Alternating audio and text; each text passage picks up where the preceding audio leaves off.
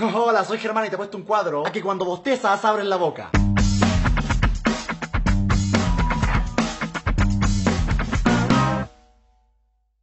¡Primer video del año!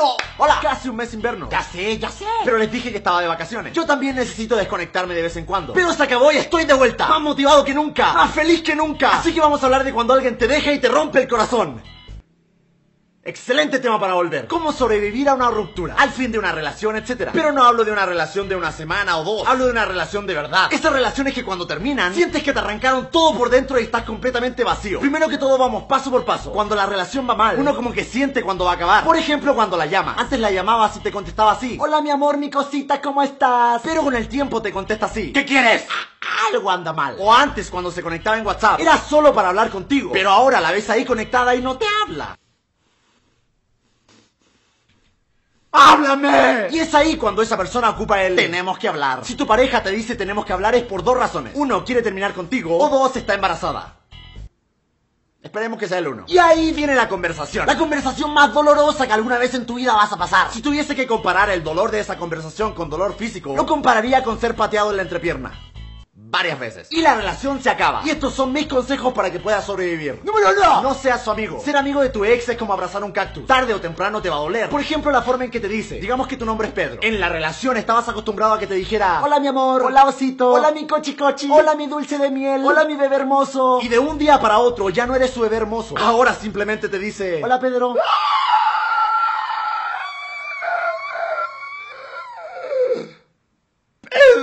Te puede llamar por tu nombre. O sea, tiene ratas en su casa las que trata con más cariño. ¡No No le demuestres que te importa. No le des el placer de hacerle saber que te hace daño. Sea una piedra. Sea un hielo. Aunque por dentro seas un osito tierno y abrazable. Fernanda, te extraño tanto. Vuelve. Fernanda.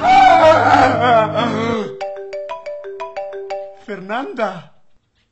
¿Sí? Hola, hablas con Fernanda. Fernanda, eh, no recuerdo ninguna Fernanda. Eh, Fernanda, tu ex. Ah, esa Fernanda, disculpe que conozco tantas mujeres. Ay, ¿cómo has estado? Mejor que nunca, estoy muy feliz. Qué bueno. Feliz, feliz. Bueno, solo te llamaba para saludarte. Ok. Cuídate mucho. Tú igual, tú igual, maldita perra asquerosa. Lo disimulé bien. No la psicopatees. Revisar su Instagram, su Twitter o su Facebook es lo peor. El que busca donde no debe se entera de lo que no quiere. Aparte, los celos y la imaginación son la peor combinación. Puedes llegar a sacar las peores conclusiones sin ninguna base. Como tiene el Twitter de mi ex. ¿Hola? La palabra hola empieza con la letra H, lo que quiere decir que su actual pareja se llama Héctor. La palabra hola sin H quiere decir ola de mar. A los surfistas les encantan las olas de mar, lo que quiere decir que Héctor es un surfista musculoso de 2 metros. La palabra hola tiene cuatro letras, lo que quiere decir que llevan cuatro meses juntos. La letra O en la palabra hola tiene forma de anillo, lo que quiere decir que pronto se van a casar. Seguramente en este momento están en Miami, porque ahí hay muchas olas. O sea que cuando ella tuiteó la palabra hola, lo que en realidad quiso decir es que se va a casar con un surfista musculoso de 2 metros llamado Héctor, con el que lleva cuatro meses en Miami. ¡La muy perra!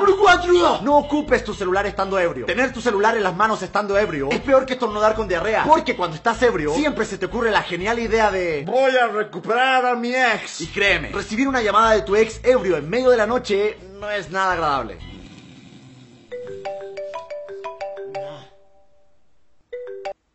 ¿Sí? ¿Con quién hablo? ¿Germán? Germán, no te entiendo absolutamente nada. A ver, respira. Toma aire. Ok, ¿ya estás más tranquilo? Sí. Ok, entonces, ¿qué me querías decir? Yo te quería decir... Te quería decir que... Eso le pasó a un amigo. Un amigo que se llamaba eh, Hernán Garmondia. ¡Número 5! No seas su amigo. Sé que ya dije esa, pero de verdad quiero recalcar que no seas su amigo. Todo lo que dije antes es horrible. Cada una de esas cosas duele. Pero no hay nada. Nada más horrible que... Conocer a la actual pareja de tu ex.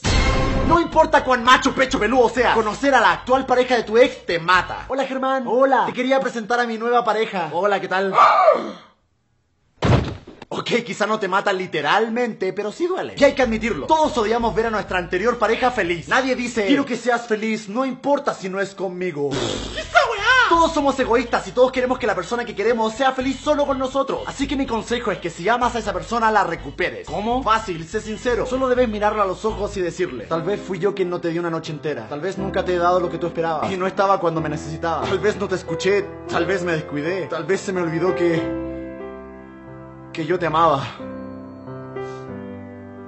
Oye, pero esa no es una canción de Ricky Martin. Shh, pero ellos no saben. ¿Cuál es la red social que más usas? Yo uso mucho Twitter. Casi siempre estoy ahí leyendo las menciones que me mandan ustedes. En fin. Y este fue el video de la semana. Si te gustó, por favor, haz clic en el botón me gusta de acá abajo. No olvides compartir este video en Facebook y en Twitter para que el mundo sepa que he vuelto. Tampoco olvides seguirme en mi hermoso y sensual Facebook, facebook.com slash hola soy Germán. Y en mi hermoso y sensual Twitter, twitter.com slash Germán Garmendia. Para los que no saben, también tengo una cuenta en Instagram. Solo búsquenme en Instagram como Germanchelo. Sé que tengo pendiente el video de los fantasmas y de la televisión, pero acabo de llegar a mi casa y tengo que ponerme al día. Un abrazo psicológico con sabor a que los extrañé. Y espero que ustedes igual me hayan extrañado. Nos vemos el próximo viernes. Chao, chao.